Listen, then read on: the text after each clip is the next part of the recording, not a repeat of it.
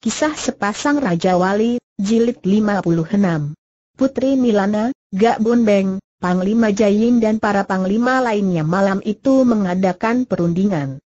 Bentrokan dengan pihak musuh secara terbuka ternyata tidak menguntungkan mereka.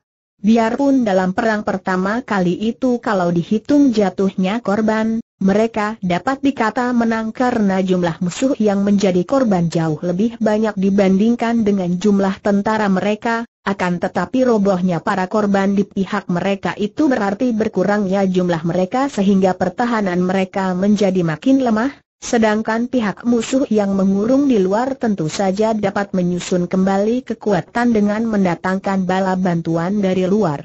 Mereka semua merasa bingung dan kehabisan akal. Akan tetapi Putri Milana yang sudah biasa dengan siasat perang, dalam keadaan segawat itu tidak menjadi putus asa dan dia berkata, kalau mengandalkan perang terbuka, jumlah kita yang belum tentu ada separuh jumlah mereka pasti akan menderita kerugian besar. Maka sebaiknya kita menggunakan siasat, menyerang mereka dari luar. Menyerang mereka dari luar tanya Jayin bingung. Apa yang Paduka maksudkan?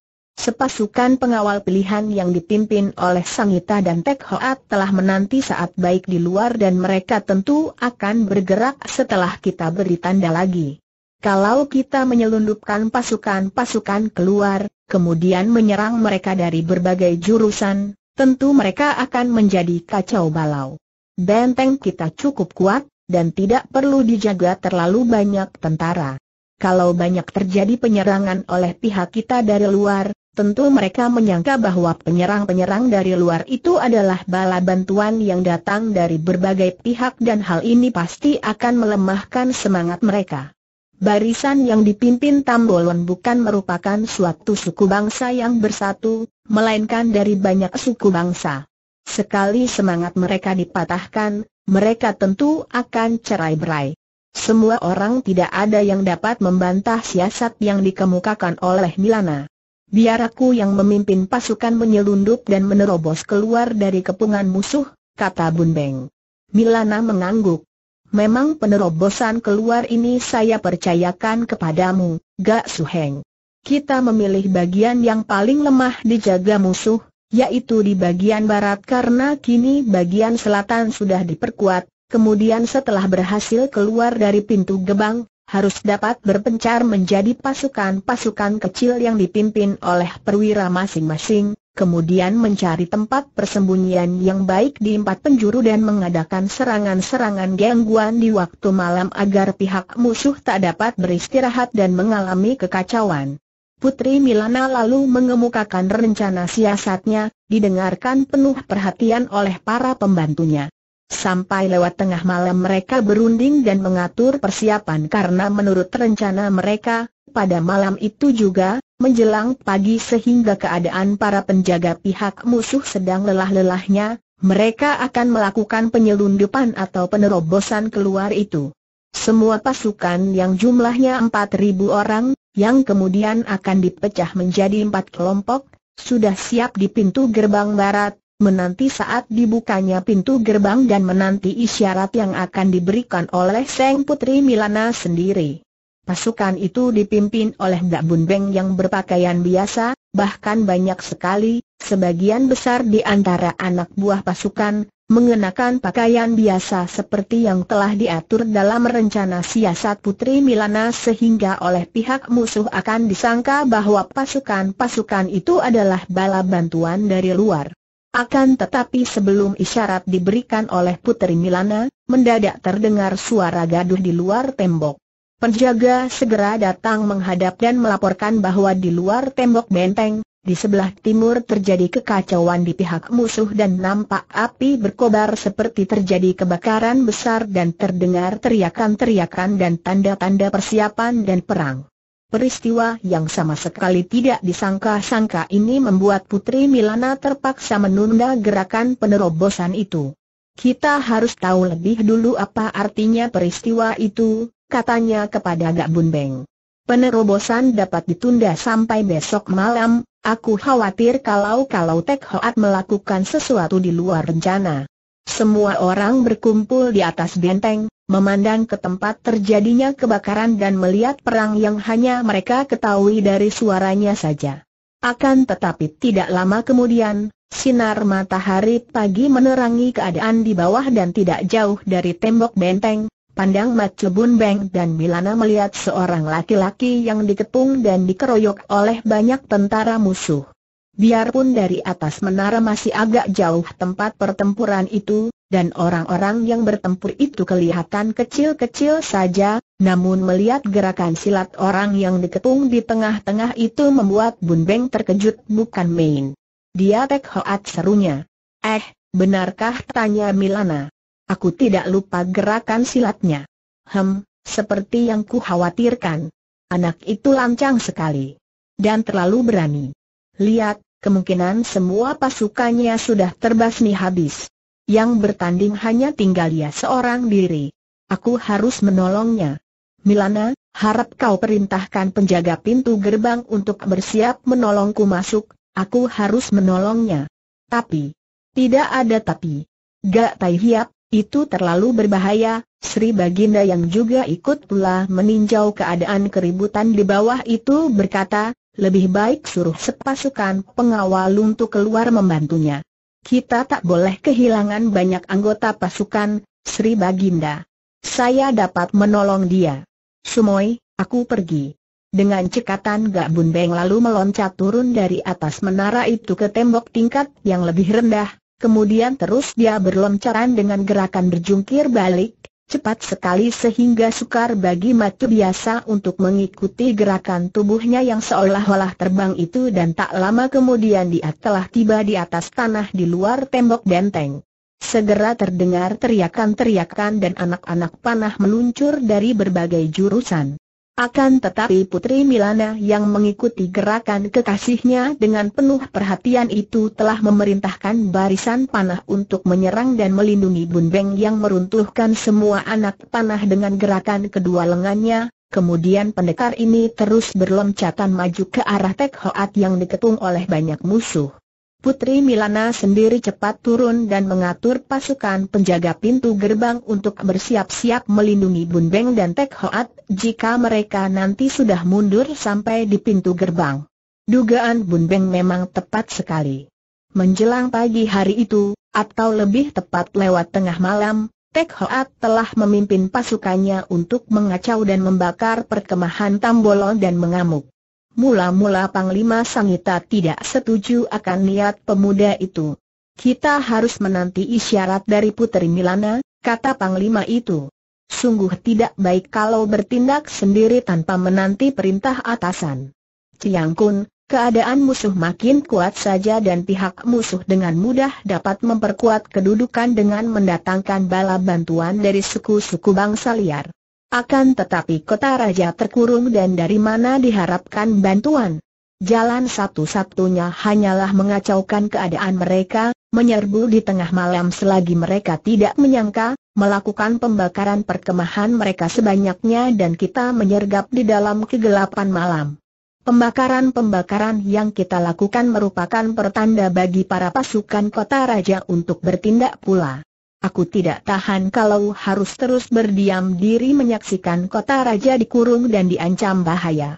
Demikianlah Tek Hoat bicara penuh semangat, didengarkan oleh semua pasukan yang segera menyatakan persetujuan dan kegembiraan mereka. Pasukan itu adalah pasukan pilihan yang gagah perkasa, maka mereka pun merasa gelisah harus bersembunyi dan diam saja menyaksikan kota raja dikepung pihak musuh. Akhirnya Sangita, yang juga merupakan seorang panglima setia dan gagah perkasa, menyetujui dan setelah lewat tengah malam, mulailah mereka bergerak menyerbu dan membakar perkemahan pihak musuh. Tentu saja pasukan Tambolon menjadi terkejut. Datangnya serbuan itu sangat tidak mereka sangka dan sepak terjang Tek Hoat dan Sangita bersama pasukannya amat hebat, sehingga mereka kalang kabut dan banyak terjatuh korban di pihak musuh. Perang mati-matian dan hebat sekali di dalam gelap terjadilah, namun tentu saja pihak penyerbu lebih diuntungkan karena mereka sudah memperhitungkan segala-galanya, Sedangkan pihak pasukan Tambolon yang terkejut dan panik itu tidak tahu sampai di mana kekuatan pihak penyerbu sehingga banyak di antara mereka yang saling serang antara kawan sendiri. Tetapi Tambolon yang menjadi marah oleh gangguan dari luar ini telah mengumpulkan pasukan besar dan mengurung hutan itu sehingga pasukan pengawal pimpinan Sangita dan Tek Hoat itu kini tidak mempunyai jalan mundur lagi. Terpaksa mereka mengamuk dengan mati-matian dan biarpun mereka telah merobohkan banyak sekali jumlah lawan, setiap orang prajurit paling sedikit membunuh lima orang musuh, namun setelah pagi tiba mereka terkurung, terhimpit dan mulailah mereka berjatuhan satu demi satu karena kelelahan dan terlalu banyak musuh yang mengeroyok. Sangita yang sudah tua mengamuk dengan sepasang goloknya seperti seekor singa tua. Entah berapa puluh orang musuh menjadi korban sepasang goloknya, tetapi akhirnya dia pun roboh di bawah serangan puluhan senjata sehingga tubuhnya menjadi hancur lebur, kematian yang amat gagah dari seorang prajurit, akan tetapi juga kematian yang amat menyedihkan. Serbuan dan pembakaran yang dilakukan oleh Tek Hoat dan pasukannya ini benar-benar berhasil baik, selain membunuh banyak sekali musuh, juga membuat mereka panik, kacau dan menurun semangat mereka. Akan tetapi, pasukan itu sendiri pun terbasmi, roboh satu demi satu sampai akhirnya tinggal Tek Hoat sendiri yang masih mengamuk. Tak terhitung banyaknya lawan yang roboh oleh pemuda perkasa ini. Pedang rampasan di tangannya sudah menjadi merah sampai ke gagangnya oleh darah musuh, akan tetapi dia sendiri pun tidak terhindar dari luka-luka yang dideritanya karena hujan senjata musuh. Dengan pakaian compang-camping, tubuh luka-luka dan berlumuran darah sendiri bercampur dengan darah lawan, pemuda ini masih mengamuk hebat ketika Bun Beng muncul. Betapapun gagahnya pemuda ini, menghadapi jumlah musuh yang amat banyak, yang roboh sepuluh datang dua puluh, yang seperti gelombang samudra lebatnya, dapat dipastikan bahwa melihat dari luka-lukanya, tak lama lagi Tek Hoat tentu akan roboh pula seperti sangita kalau pertandingan itu dilanjutkan. Plak-plak des. Enam orang di antara para pengeroyok Tek Hoat segera terlempar ke kanan kiri seperti disambar petir ketika Gak Bun Beng menyerbu. Tek Hoat mengerling ke arah Bun Beng dan melanjutkan amukannya dengan pedang rampasannya. Tek Hoat, mari kita mundur ke pintu gerbang Bun Beng berteriak sambil bergerak merobohkan dua orang pengeroyok lagi. Tidak bisa Tek Hoat menjawab tegas. Semua anak buahku telah tewas, aku harus melawan sampai titik darah terakhir membela mereka. Pedangnya yang tadinya sudah agak lemah gerakannya karena kelelahan itu seperti memperoleh tenaga baru, berkelebat dan berubah menjadi sinar bergulung-gulung yang sekaligus merobohkan enam orang lawan. Tidak ada gunanya, musuh terlampau banyak, Bun Beng membujuk. Kalau kau takut, kembalilah Tek Hoat berteriak marah. Bun Beng menarik napas panjang. Pemuda ini berhati keras sekali dan membujuknya tidak akan ada gunanya. Akan tetapi membiarkan dia mati pun sayang sekali. Pemuda ini gagah perkasa dan tidak memalukan menjadi cucu tiri pendekar super sakti, dan biarpun pernah melakukan penyelewengan, namun pemuda inilah yang kelak akan dapat menjunjung tinggi nama ayahnya yang tersesat. Kalau begitu biarlah kita mati bersama Gak Bun Beng berkata dan dia pun mengamuk di dekat Tek Hoat.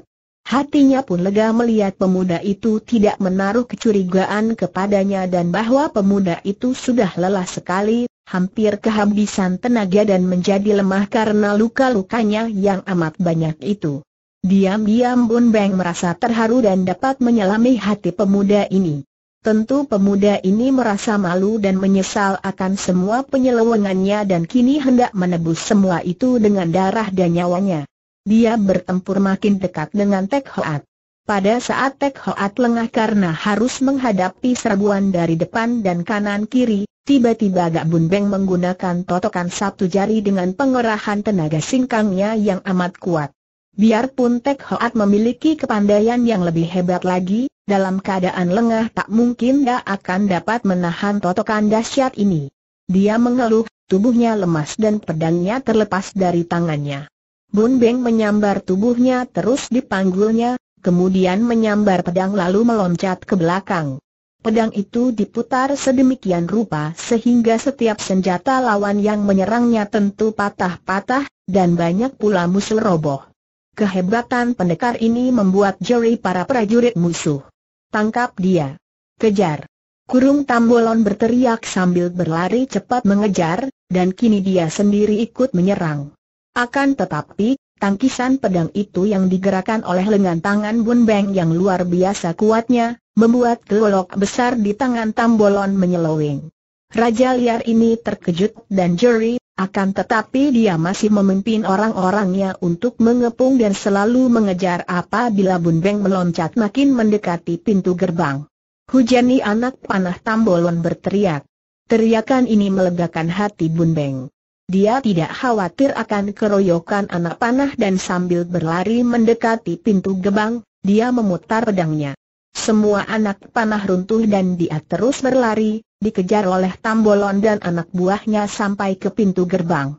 Tiba-tiba pintu gerbang terbuka dan terdengar aba-aba yang nyaring dari Putri Milana, maka hujanlah anak panah dan batu dari atas benteng, juga Putri Milana sendiri menyambut kedatangan Gak Bun Beng itu dengan pedang di tangan melindunginya. Akhirnya pendekar itu berhasil memasuki pintu gerbang sambil memondong Tek Hoat, dan pintu gerbang ditutup kembali, Tentara Tambolon dipaksa mundur oleh hujan anak panah dari atas benteng. Putri Milana girang sekali dan di depan Sri Baginda dia memuji-muji Ang Tek Hoat. Serbuan pemuda itu dengan pasukannya secara nekat, membunuh banyak musuh dan menurunkan semangat mereka, benar-benar amat menguntungkan karena di dalam keributan tadi, Putri Milana dapat melaksanakan siasatnya dengan baik sekali, berhasil menyelundupkan keluar 4.000 orang pasukan, hanya ada sedikit perubahan, yaitu Gak Bun Beng terpaksa tidak ikut karena pendekar ini tadi menyelamatkan Tek Hoat. Tempatnya digantikan oleh Panglima Jayin yang sudah berhasil pula membawa keluar pasukannya, kemudian memecahnya menjadi empat bagian dan mereka berpencar ke empat penjuru, bersembunyi di hutan-hutan sambil menanti isyarat selanjutnya. Puteri Shanti Dewi yang mendengar akan keadaan Tek Hoat, cepat berlari keluar dan sambil menangis melihat tubuh pemuda itu penuh luka yang berlumuran darah, dia lalu memaksa ayahnya untuk mengizinkan dia sendiri merawat pemuda yang disebutnya sebagai penolongnya dan penyelamat nyawanya. Sri Baginda maklum akan keadaan hati putrinya, karena dia sendiri pun kagum dan suka sekali kepada pemuda yang gagah perkasa itu, yang dengan semangat luar biasa membela Butan, bahkan dengan rela hampir mengorbankan nyawa. Seluruh prajurit Butan membicarakan kegagahan Tek Hoat ini dan memuji-muji. Pihak musuh benar-benar mengalami kerugian hebat sekali. Pembakaran-pembakaran yang dilakukan oleh Tek Hoat dan pasukannya mengakibatkan kebakaran besar dan baru dapat dipadamkan setelah malam terganti pagi sampai hampir siang. Hampir semua peralatan dan ransum perang rusak oleh kebakaran itu. Banyak pula yang tewas oleh penyerbuan tiba-tiba itu, banyak juga yang terluka oleh hamukan api. Yang lebih merugikan lagi, Peristiwa itu kemudian mendatangkan rasa panik di antara mereka sehingga menurunkan semangat juang mereka sungguh pun Tambolon sendiri sudah berusaha membangunkan semangat mereka dan mengatakan bahwa setelah mengumpulkan kekuatan dan mendatangkan bala bantuan yang akan memakan waktu satu minggu, mereka akan melakukan serangan besar dan menduduki kota Raja Butan dengan berdiri di atas panggung sehingga tampak oleh para pimpinan suku dan para pembantunya, Tambolon mengajak gurunya, Nenek Durganini yang baru muncul, dan berkata dengan lantang, kita memang telah disergap di waktu malam dan mengalami sedikit kerugian. Tetapi tunggu sampai satu minggu, kita akan melakukan pembalasan. Jangan khawatir, di dalam tembok benteng itu terdapat harta berlimpahan, dan wanita-wanita yang cantik untuk kalian semua. Dan jangan takut menghadapi Putri Mancu dan para pembantunya, karena sekarang kita dibantu oleh guruku sendiri yang menguasai ilmu gaib. Durgan ini terkekeh, kedua tangannya bergerak-gerak, mulutnya ternganga dan semua orang memandang takjub dan ngeri ketika dari kedua tangan dan dari mulut nenek itu keluar api berkobar-kobar. Tak lama kemudian nenek itu menelan kembali semua api itu dan Tambolon berkata, lihat betapa guruku akan dapat membakar seluruh kota Raja Butan dengan api mukjizat dari mulutnya. Dan guruku dapat pula menutup matahari menimbulkan kegelapan. Nenek itu lalu mengangkat kedua lengan ke atas, berkemak-kemik diikuti oleh semua mata orang-orang yang menonton dari bawah. Dan mulailah cuaca menjadi gelap, makin lama makin gelap. Semua orang menjadi panik, ada yang menjerit-jerit dan ada yang berlutut dan minta-minta ampun kepada nenek yang memiliki ilmu seperti dewa itu. Nenek itu menyudahi permainan sihirnya dan dengan care ini, Tambolon berusaha membangkitkan kembali semangat para pembantunya yang terdiri dari bermacam suku bangsa liar itu. Perayawatan yang penuh ketekunan dan kemesraan dari Shanti Dewi membuat hati Tek Hoat menjadi terharu sekali. Berkat pengobatan dari Gak Bun Beng dan Putri Milana yang pandai, dalam waktu tiga hari saja sembuhlah Tek Hoat. Dewi, aku, sungguh berhutang budi padamu. Pagi hari itu Tek Hoat yang sudah duduk di atas pembaringan, berkata dengan suara tergetar karena terharu. Pagi-pagi sekali dia sudah mandi dan merasa tubuhnya segar, kesehatannya sudah pulih kembali, dan sepagi itu, Shanti Dewi sudah memasuki kamarnya dengan membawa sarapan dan minuman panas. Jangan berkata demikian, Tek Hoat. Engkau tahu bahwa aku melakukan semua ini dengan hati tulus ikhlas, dengan rela dan tidak ada budi di antara kita.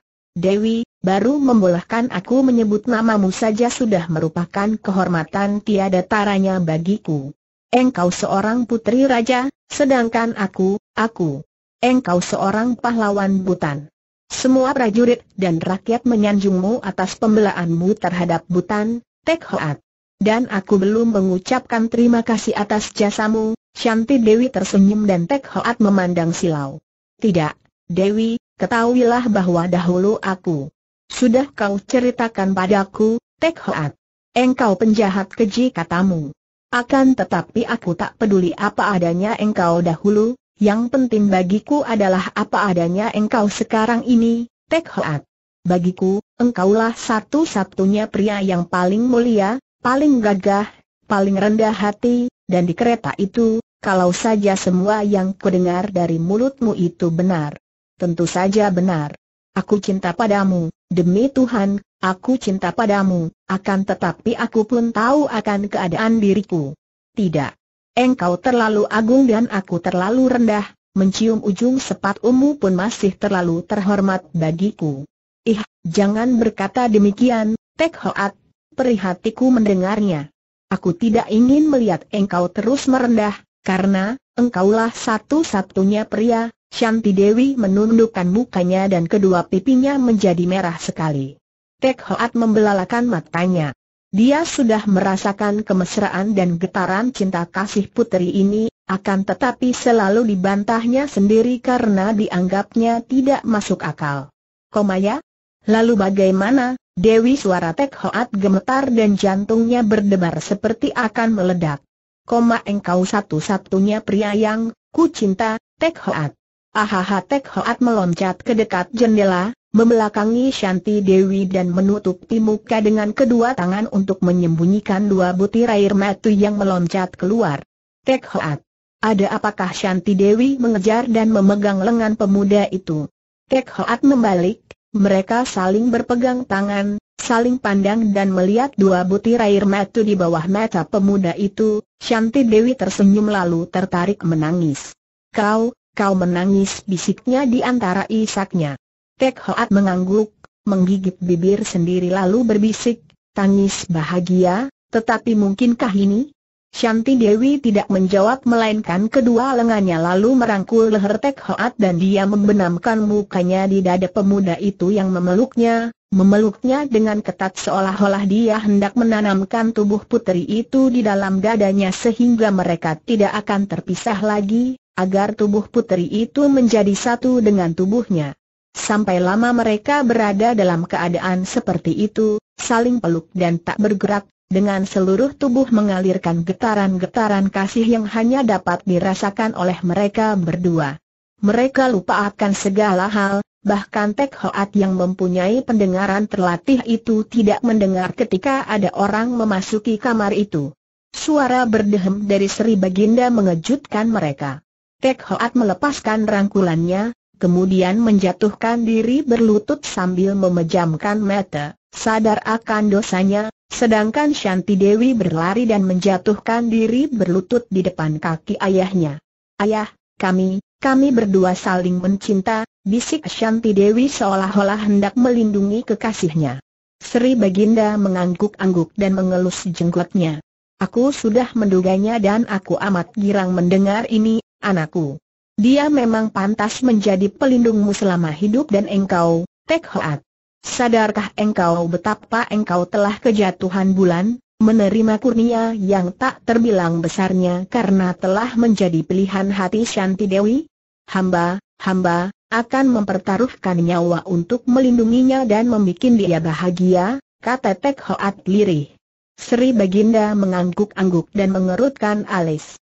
Engkau telah memperlihatkan pembelaanmu terhadap kerajaan, akan tetapi hendaknya engkau ingat bahwa kini kota raja kita masih terkurung oleh musuh, dan selama bahaya ini belum dapat dihalau, pantaskah kalau kita memikirkan tentang urusan dan kesenangan pribadi?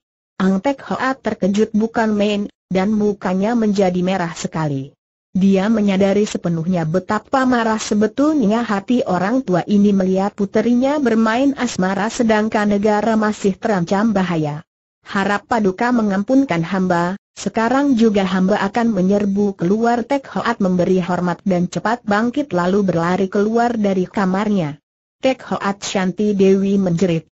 Orang muda, rundingkan segalanya dengan Putri Milana Sri Baginda juga berteriak, kemudian dia merangkul puterinya dan berbisik, dia gagah perkasa, kita lihat saja apakah dia patut menjadi mantu kerajaan Butan, anakku.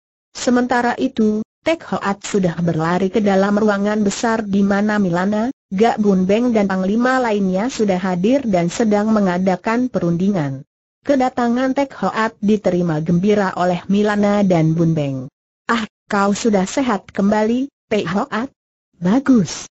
Memang kami amat membutuhkan bantuanmu, dan malam nanti kita harus bergerak. Tek Hoat lalu duduk dan ikut mendengarkan rencana siasat yang diatur oleh Putri Milana. Diam-diam dia merasa makin kagum kepada putri ini dan berdebar jantungnya kalau dia teringat akan cerita tentang dirinya. Ayahnya, manusia iblis yang memperkosa ibunya, adalah kakak tiri dari putri ini. Kini Panglima Jain sudah mengatur pasukan yang berhasil menerobos keluar itu, mengambil kedudukan di empat penjuru dan sudah mempelajari kedudukan musuh. Dengan penyergapan dari empat penjuru, musuh tentu dapat dibikin kacau dan biarpun jumlah kita kalah banyak, akan tetapi kita menang semangat dan menang perhitungan. Malam nanti cuaca amat gelap dan dingin, sedangkan bala bantuan dari para musuh belum tiba.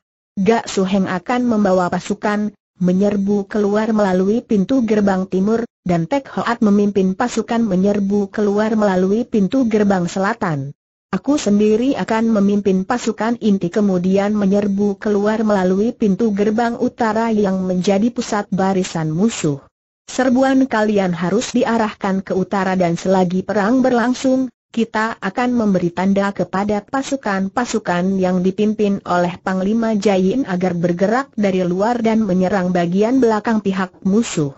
Setelah membagi-bagi tugas, maka bersiaplah mereka dengan pasukan masing-masing, dibantu oleh para perwira tinggi dan para pendeta Buddha yang memiliki kepandaian silat. Memang sudah diperhitungkan oleh Putri Milana. Malam itu gelap karena tidak ada bulan, bahkan bintang-bintang di langit hanya nampak sedikit karena tertutup oleh awan.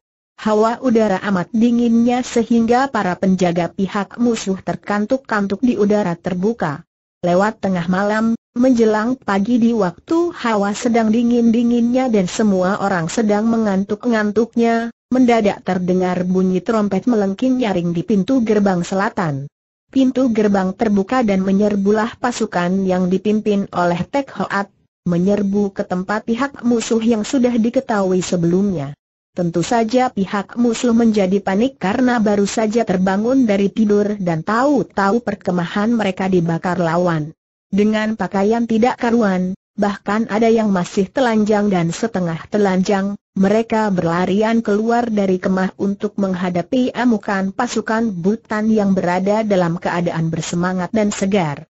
Pula, pertempuran yang terjadi di tempat gelap itu dilakukan dengan baik sekali oleh pasukan butan.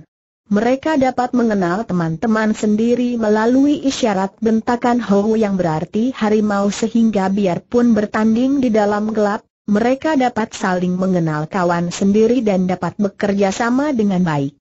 Teriakan-teriakan Hou terdengar di mana-mana disusul pekik kebingungan dan robohnya para anggota tentara musuh yang tentu saja menjadi panik dan ada yang saling serang di antara kawan sendiri di dalam gelap. Pada saat yang hampir bersamaan, di pintu gerbang timur, pasukan yang dipimpin oleh Dak Bun Beng juga mengadakan penyerbuan yang sama. Pasukan ini menggunakan isyarat bentakan liong, naga, untuk saling mengenal kawan sendiri dalam pertempuran keroyokan dalam gelap itu. Seperti juga Tek Hoat yang memimpin pasukannya dengan penuh keberanian dan yang sepak terjangnya menggiriskan hati musuh, Demikian juga Gak Bun Beng mengamuk seperti seekor naga sakti.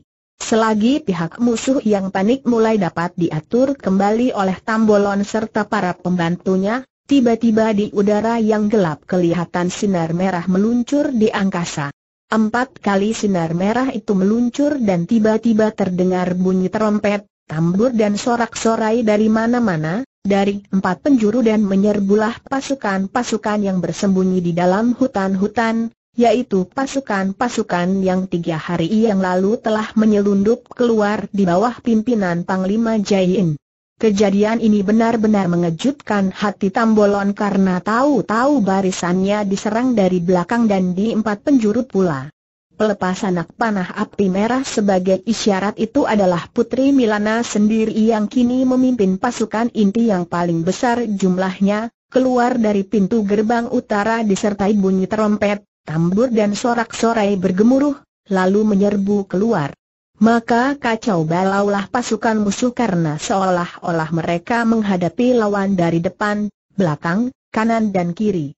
Apalagi pihak Butan menyerang di malam gelap, dengan gerakan yang begitu teratur sehingga pihak Tambolon menyangka bahwa bala bantuan untuk Butan datang dari empat penjuru. Memang siasat yang dilaksanakan oleh Putri Milana itu hebat sekali. Semacam perang gerilya yang diperhitungkan dengan masak-masak sehingga biarpun jumlah tentara Butan jauh lebih kecil, namun sekali pukul ini membuat pasukan-pasukan Tambolon yang jauh lebih banyak itu menjadi kacau balau dan kocar kacir. Hal ini adalah karena Tambolon terlalu mengandalkan jumlah besar pasukannya, akan tetapi pasukan-pasukan itu terdiri dari bermacam suku bangsa sehingga tentu saja tidak ada persatuan yang kompak. Mereka ini hanya mengandalkan keberanian dan tenaga kasar saja, maka menghadapi siasat yang cerdik itu mereka menjadi panik dan banyak di antara mereka yang menjadi korban dalam perang yang terjadi di malam gelap, hanya diterangi oleh berkobarnya api yang membakar perkemahan-perkemahan mereka. Akan tetapi, Tambolon dan para pembantunya dengan nekat melakukan perlawanan mati-matian sehingga pertempuran itu berlangsung sampai hari menjadi terang. Kini nampaklah pertempuran itu.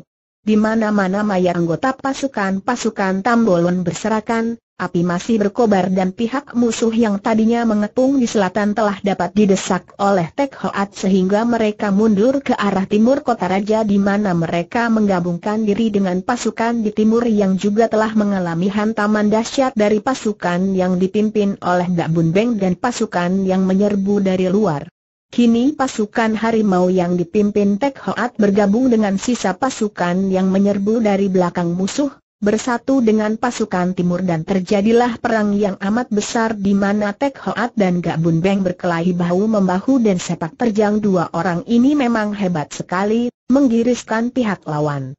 Biarpun mereka tidak memegang senjata, namun kedua tangan dan kaki mereka merupakan senjata-senjata yang amat ampuhnya.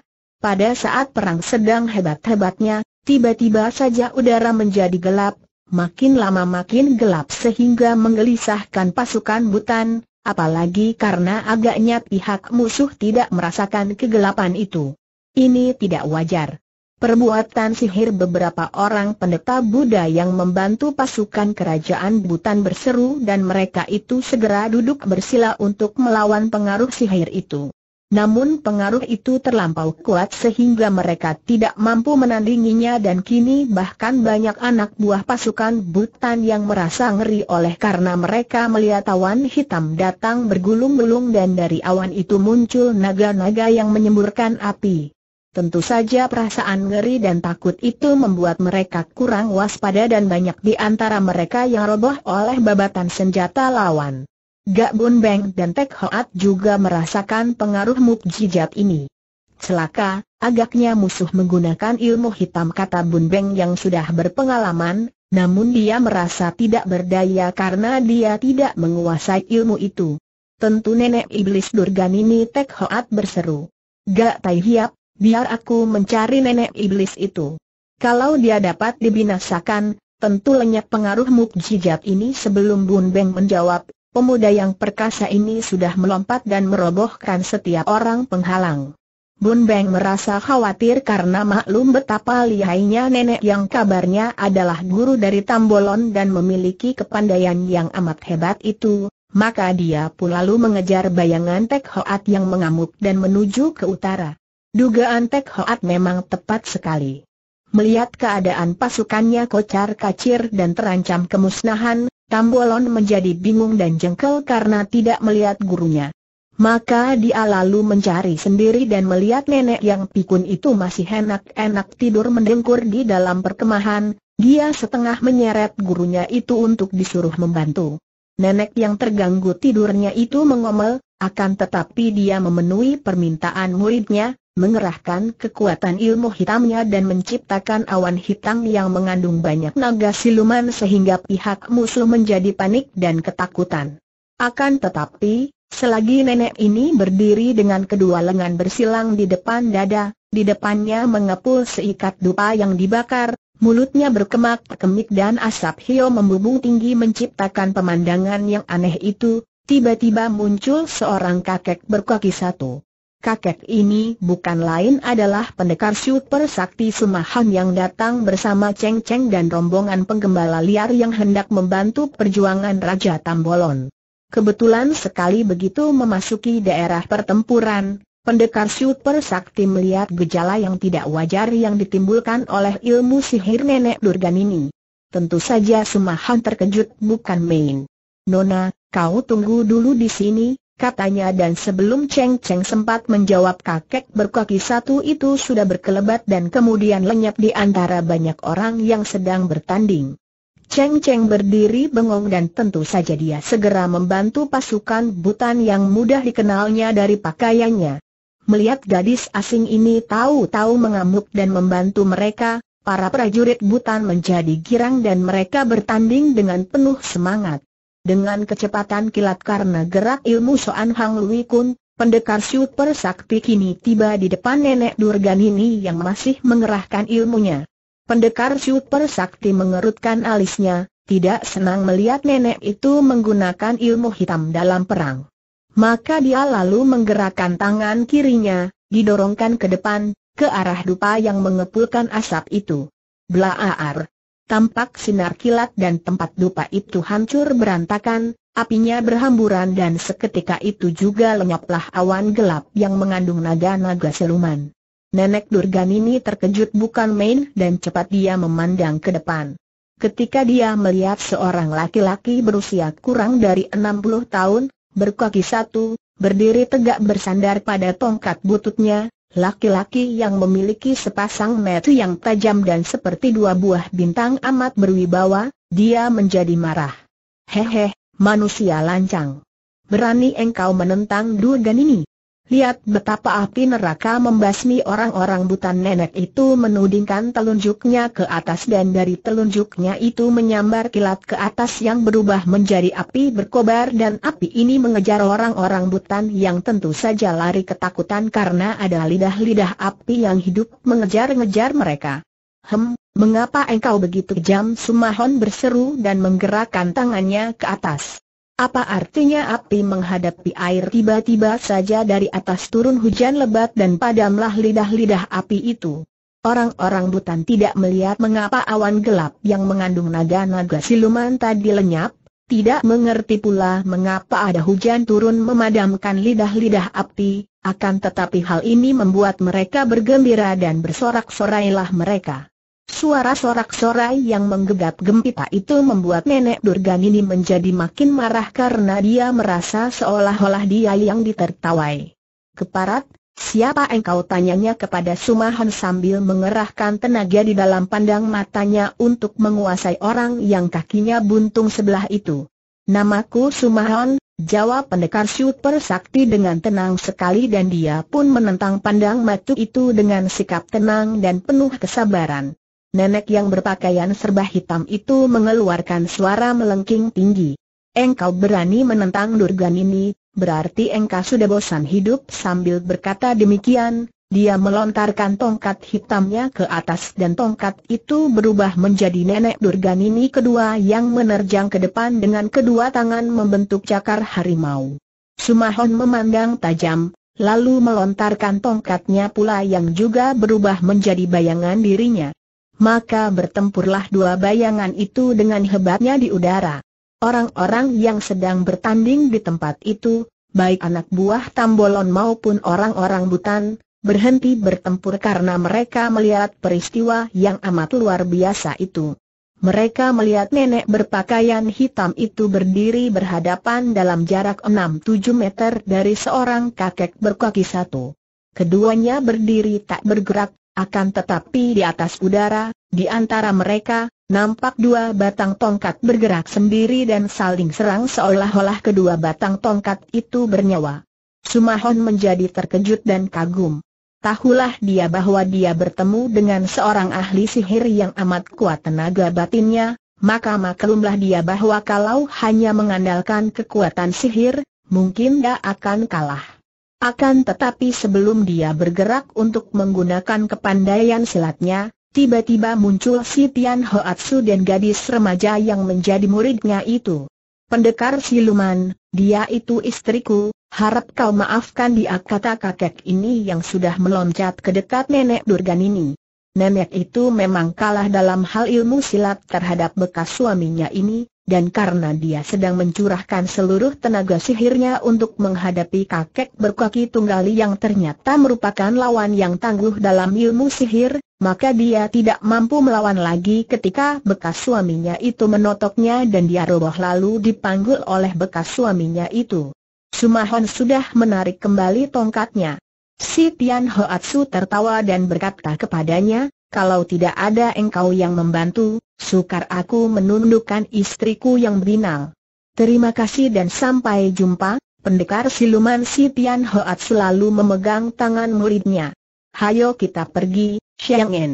Oh, suhu, aku ingin ikut main-main dalam keramaian ini buk kakinya sudah menyambar dan tepat menendang pantat seorang anak buah tambolon sehingga orang itu berjingkrak-jingkrak dan mengadu-adu karena tulang di antara pinggulnya remuk terkena tendangan Siangen.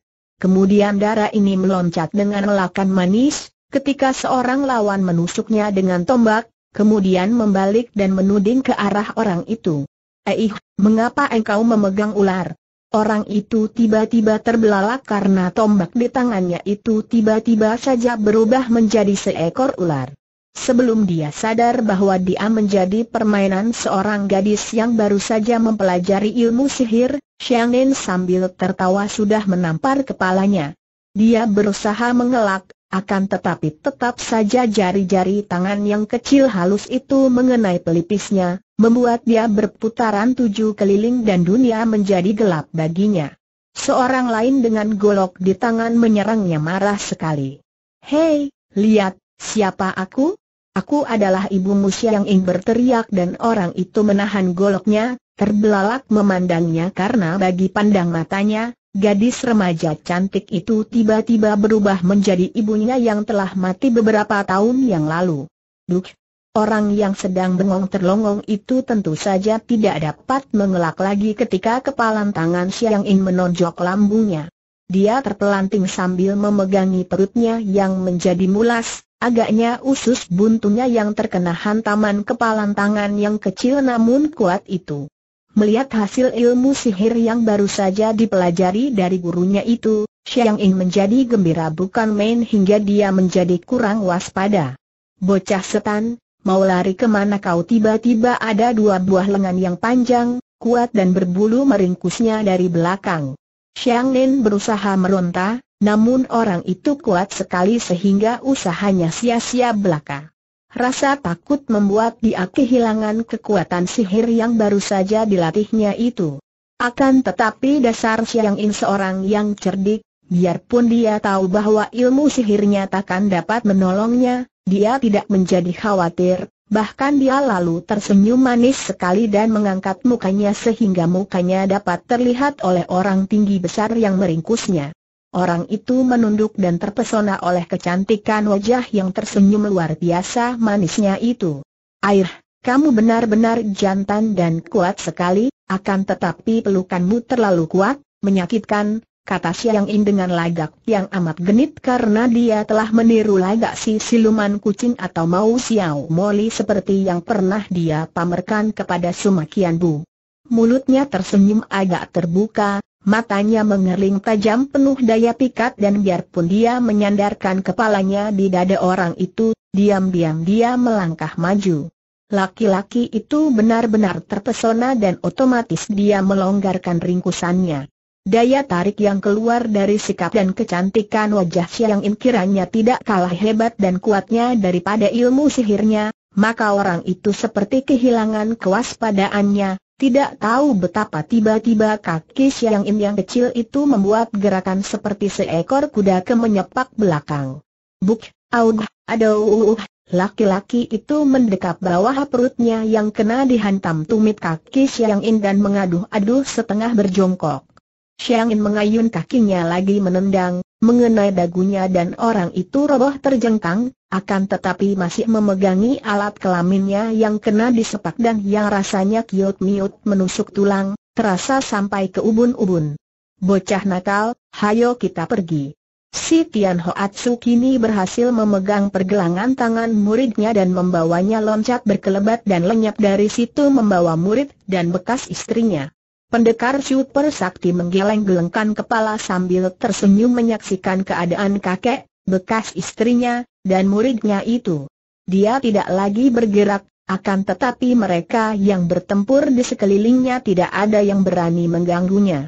Sementara itu, Cheng Cheng yang tentu saja mempunyai rasa setia kawan dengan Butan, sudah mengamuk sampai terpisah agak jauh dari pendekar super sakti, dan dia pun tidak tahu apa yang telah terjadi antara pendekar super sakti dengan nenek Durgan ini, karena pihak musuh sudah mengepungnya ketika melihat betapa lihainya darah ini yang telah merobohkan banyak lawan. Tiba-tiba terjadi keributan tak jauh dari situ. Ketika Cheng Cheng menengok, dia melihat Tek Hoat yang juga mengamuk dan merobohkan setiap orang anak buah Tambolon yang berdekatan dengannya. Begitu melihat pemuda ini, timbul kemarahan hebat di hati Cheng Cheng. Teringat dia betapa oleh pemuda ini dia telah diserahkan kepada Tambolon sebagai penukar Shanti Dewi, betapa dia telah ditipu oleh Tek Hoat. Jahanam keparat dia memaki dan meninggalkan musuh-musuhnya, lalu lari dan tiba-tiba saja dia menyerang Tek Hoat. Serangan itu demikian dahsyat karena kemarahan di hati Cheng Cheng secara otomatis menggerakkan tenaga singkang mukjizat di dalam tubuhnya yang timbul dari khasiat anak ular naga. Angin pukulan yang amat hebat menyambar dan Tek Hoat menjadi terkejut bukan main karena ketika dia menangkis, dia masih terhuyung ke belakang. Akan tetapi ketika melihat bahwa yang menyerangnya adalah Cheng Cheng, dia memandang rendah dan juga menjadi marah. Hem, Kiranya engkau telah diperalat oleh si keparat Tambolon pula teriaknya dan melihat Cheng Cheng menyerang lagi, dia cepat mengelak dan balas menyerang. Diam-diam Tek Hoa terkejut melihat kemajuan hebat dalam gerakan Cheng Cheng. Dia tidak tahu bahwa selama ini Cheng Cheng telah menerima petunjuk-petunjuk dari topeng setan dan telah memiliki singkang mukjizat dari anak ular naga. Maka terjadilah pertandingan yang amat seru dan para prajurit kedua pihak tidak ada yang berani mendekati karena gerakan dua orang itu mendatangkan hawa pukulan yang bersiutan dan dari jauh saja mereka hampir tidak dapat menahan. Betapapun juga, tingkat kepandaian Tek Hoat masih jauh di atas tingkat Cheng Cheng, dan mulailah Tek Hoat mendesaknya. Akan tetapi, sejak dahulu, ada perasaan aneh di dalam hati pemuda ini terhadap Cheng Cheng, rasa suka yang aneh, maka sekarang pun dia merasa tidak tega untuk merobohkan Cheng Cheng. Cheng Cheng, kau mundurlah dan jangan tolol membela Tambolon beberapa kali Tek Hoat berseru kepadanya. Cheng Cheng maklum bahwa Tek Hoat membela Butan dan salah menduga dia menjadi kaki tangan Tambolon. Akan tetapi dia tidak peduli. Dengan Tek Hoat dia mempunyai urusan pribadi yang tidak ada sangkut pautnya dengan Butan atau Tambolon, dan dia tidak mau membela diri dari tuduhan itu. Dia tidak takut mati, bahkan kalau dia tidak dapat menangkap Tek Hoat, biarlah dia mati menyusul topeng setan. Coba kalau ada topeng setan di sisinya, Tek Hoat ini tentu tidak berani banyak lagak terhadap dirinya. Teringat akan topeng setan, hatinya berduka sekali dan dia menjadi makin nekat. Tek Hoat merasa kewalahan juga ketika Cheng Cheng menyerangnya lebih hebat dan lebih nekat, seolah-olah darah itu tidak mempedulikan keselamatan dirinya sendiri. Cheng Cheng, jangan bodoh kau, mundurlah. Kalau tidak, terpaksa aku akan membunuhmu. Sombong, keparat keji. Siapa takut mampus Cheng Cheng membentak marah sekali, lalu menerjang lagi seperti seekor singa betina menghantam kepala Tek Hoat dengan tangan kanannya. Plak! Tek Hoat cepat menyambar pergelangan tangan Cheng Cheng. Ketika tangan kiri Cheng Cheng menampar, dia cepat menangkis sedemikian kuatnya sehingga pasangan kuda-kuda kaki Cheng Cheng tergempur.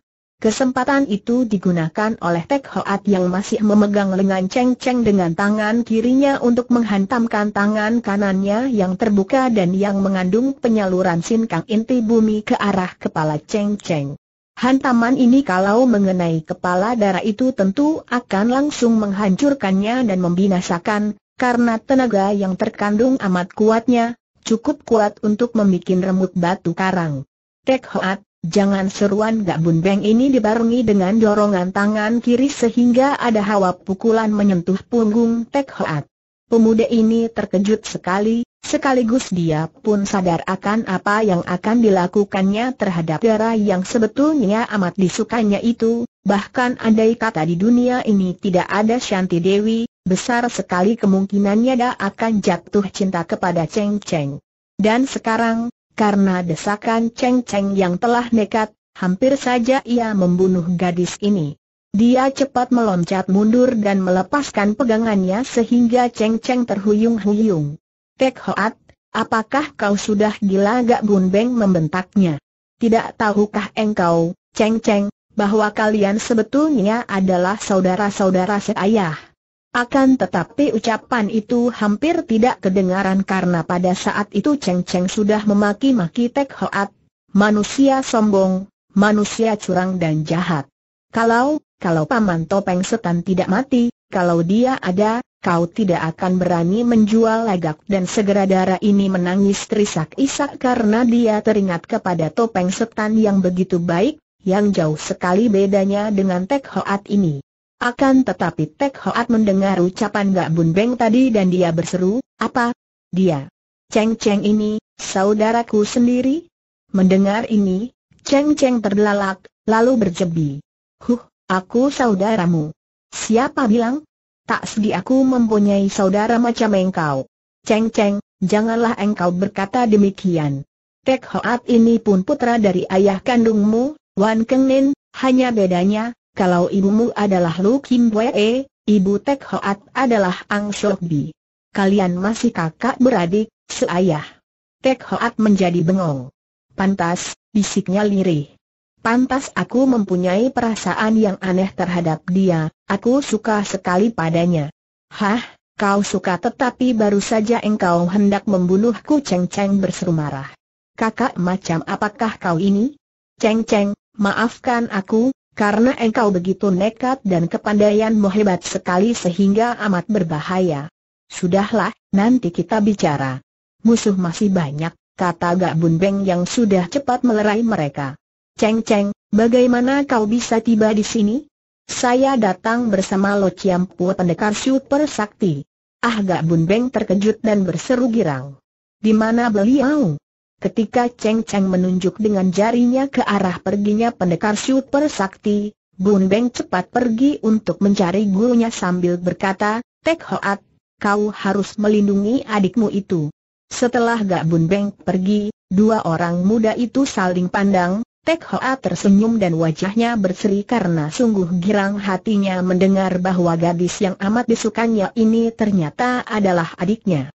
Akan tetapi Cheng Cheng tetap cemberut, masih panas hatinya teringat betapa tadi hampir saja dia dibunuh oleh Tek Hoat. Ceng Ceng, engkau, engkau adikku. Huh, belum tentu. Ibu kita berlainan, siapa tahu kalau-kalau aku yang lahir lebih dulu daripada engkau. Mungkin aku malah encimu. Adik atau enci, pokoknya kita bersaudara, dan aku girang sekali. Eh haha, Ceng Ceng, aku tahu bahwa sejak kecil engkau di Butan, marilah kita berlomba untuk membunuh Tambolon. Cheng Cheng hanya mengangguk karena untuk membunuh musuh besar itu, tentu saja dia tidak dapat membantah. Hayo ikut dengan aku Tek Hoa cepat merobohkan dua orang sambil meloncat, diikuti oleh Cheng Cheng yang juga membuka jalan sambil merobohkan anak buah Tambolon.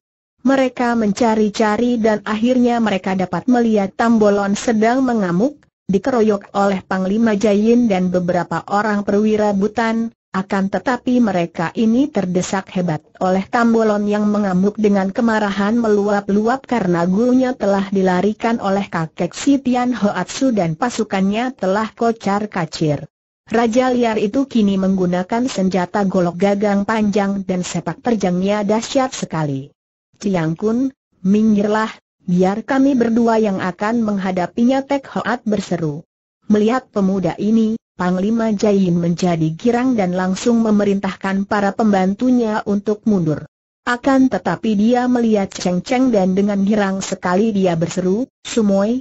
Seperti kita ketahui, Panglima Jayin ini adalah murid dari mendiang kakek Lu Kiong dan sejak dahulu dia memanggil Cheng Cheng Sumoy. Suheng, biarlah aku menghadapi Raja Liar itu, Cheng Cheng berkata sambil melompat ke depan. Panglima Jain tentu saja meragu dan khawatir sekali karena dia tahu bahwa tingkat kepandaian semuanya ini tidak jauh dengan tingkatnya, bahkan dia masih lebih tinggi sedikit. Akan tetapi melihat loncatan Cheng yang seperti burung walet terbang itu, dia terkejut dan girang, Maklum bahwa sumoinya itu tidak boleh dibandingkan dengan sumoinya di waktu belum meninggalkan Butan dahulu. Melihat majunya Tek Hoat dan Cheng Cheng, Tambolon terkejut bukan main karena dia maklum akan kelihayan pemuda itu, dan teringat pula betapa dahulu Nona ini pernah membebaskan diri dengan memperlihatkan tenaga mukjizat, dia pun maklum bahwa Nona yang telah memperoleh khasiat dari anak ular naga ini telah memiliki tenaga sakti yang juga amat hebat. Akan tetapi karena dia sendiri percaya penuh akan dirinya sendiri, juga agar tidak menurunkan semangat anak buahnya, dia tertawa bergelak dan sekali tangan kanannya bergerak. Kerak terdengar bunyi dan gagang goloknya yang panjang itu telah dipatahkannya sehingga berubah menjadi sebatang golok gagang biasa. Kemudian tangan kirinya meraba pinggangnya. Sehingga tercabutlah sebatang pedang yang mengeluarkan sinar yang mukjizat dan menyeramkan. Hahaha, bocah perempuan setan. Engkau akan mampus di ujung pedangmu sendiri. Cheng Cheng terkejut dan marah ketika mengenal Bantok Kiam, yaitu pedang pemberian Bantok Moli yang telah dirampas dari tangannya oleh Raja Liar itu. Tambolon keparat. Aku harus membunuhmu. Ceng Ceng yang sudah nekat itu segera menubruk ke depan dengan tangan kosong, mengirim pukulan yang dahsyat. Tambolon menggerakkan pedang itu memapaki. Ceng Ceng, Hati-hatilah Tek Hoat mengkhawatirkan keselamatan gadis yang nekat itu dan cepat dia pun mengirim pukulan dahsyat ke arah Tambolon.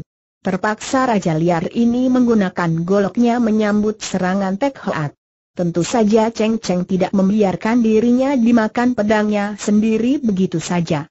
Tubuhnya sudah cepat mengelak dan dari bawah kakinya menyambar ganas ke arah pergelangan tangan lawan yang memegang pedang. Akan tetapi Tambolon dapat menarik tangannya dan pada saat itu, Tek Hoat yang sudah mengelak pula telah menghantam dengan pukulan jarak jauh. Des!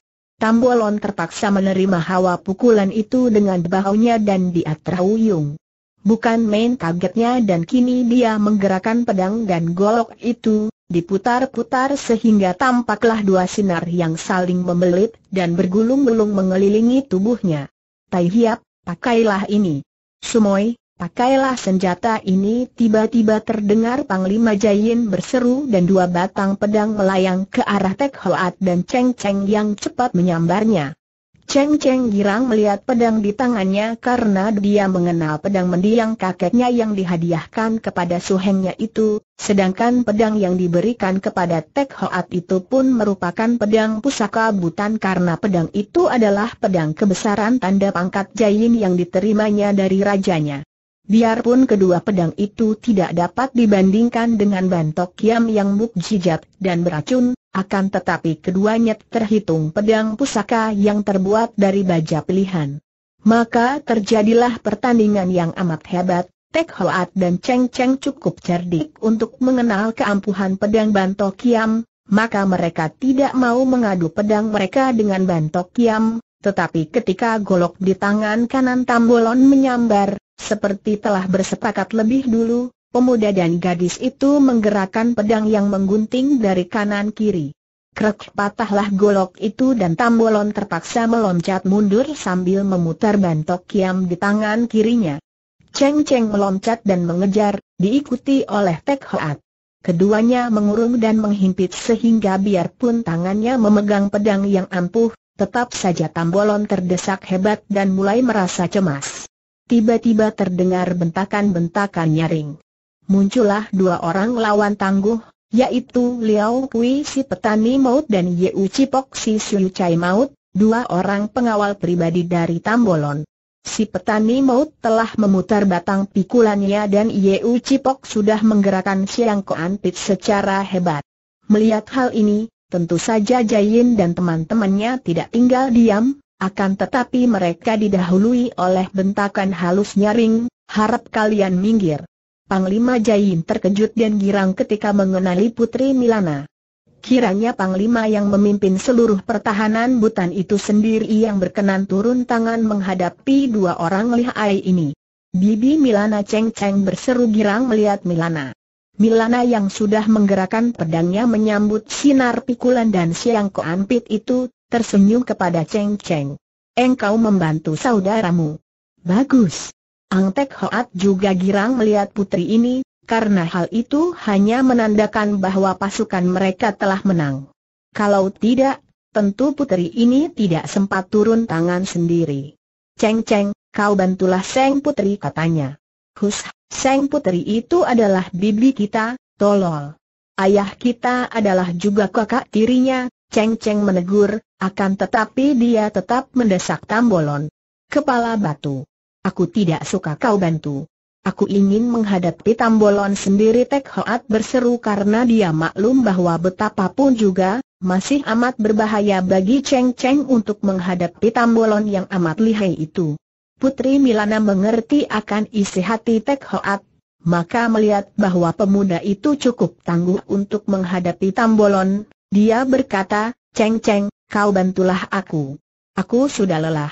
Mendengar ini, Tentu saja Cheng Cheng meloncat seperti kilat dan dia sudah menerjang Ye Ucipok dan mendesak Su Chai ini dengan gerakan pedangnya yang mengandung tenaga mukjizat sehingga tangkisan Su Chai itu membuat tangannya tergetar dan Su Chai itu pun terkejut bukan main. Pertandingan terpecah menjadi tiga dan kini tempat itu dikurung oleh pasukan Butan yang ingin menonton pertandingan hebat ini, juga Jayin dan teman-temannya ikut pula menonton karena kini pihak musuh sudah kocar kacir dan kemenangan sudah di depan mata. Keadaan tidak berbahaya lagi maka tontonan yang demikian hebatnya tidak akan mereka lepaskan begitu saja. Tanpa diketahui orang lain, Milana berbisik kepada Cheng Cheng, jangan robohkan lawan, biar mereka semua ini dirobohkan oleh saudaramu yang akan menjadi calon mantu Raja Butan.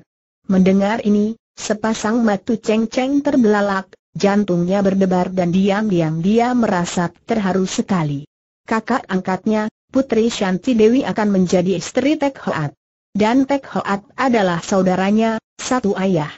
Dia tidak lagi mampu menjawab, hanya mengangguk dan bersama Putri Milana dia melayani lawannya seperti main-main saja. Kalau mereka mau, apalagi Putri Milana yang menghadapi si petani maut, tentu dengan amat mudahnya mereka mengalahkan lawan mereka itu. Yang bertanding secara sungguh-sungguh dan mati-matian adalah Tek Hoat. Hebat sekali pemuda ini menyerang dan mendesak Raja Liar Tambolon. Raja liar ini pun mengerahkan seluruh tenaga dan kepandaiannya karena dia maklum bahwa dia tersudut dan tidak dapat melarikan diri lagi. Jalan satu-satunya hanya mempertahankan diri sampai saat terakhir dan kalau mungkin membunuh musuh sebanyaknya. Akan tetapi pemuda ini terlalu tangguh baginya. Setelah bertanding hampir seratus jurus, Tambolon makin terdesak dan mukanya sudah basah oleh keringat. Baiknya dia memiliki pedang bantok kiam, karena kalau tidak demikian, tentu sudah tadi dia roboh oleh pemuda yang luar biasa ilmu silatnya ini. Tiba-tiba ketika kakinya menendang, ujung kakinya dapat menyerempet paha Tek Hoat dan pemuda itu lantas terguling jatuh. Semua orang menjerit, kecuali Putri Milana yang berpemandangan tajam dan yang melayani si petani maut sambil menonton. Tambolon mengeluarkan suara gerengan seperti seekor harimau marah, pedang bantok kiam menyambar ketika dia menubruk lawan yang sudah roboh di tanah itu. Akan tetapi tiba-tiba kaki Tek Hoat bergerak dan hawa pukulan yang luar biasa dahsyatnya menyambar. Bres!